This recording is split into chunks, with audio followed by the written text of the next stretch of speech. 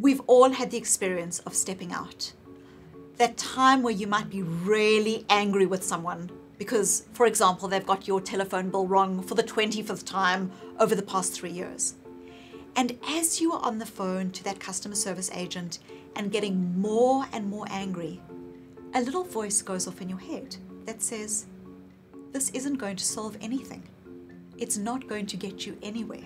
Stepping out is that ability to feel the emotion or think the thought, but to see it for what it is, to almost be able to helicopter above your thoughts and your emotions. An example of this is you might be sitting in a meeting where you feel that you have been undermined by someone.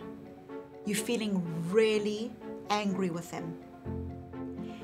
And your anger typically might be something that would lead you to shut down. But in this situation, you might be able to notice, recognize your thought or emotion for what it is.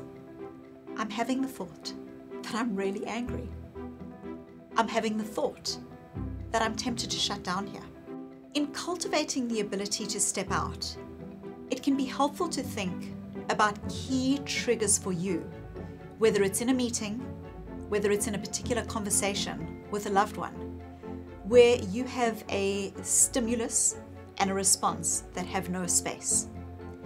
And to think about how you might start to be able to recognize your thought as a thought, not as a direction.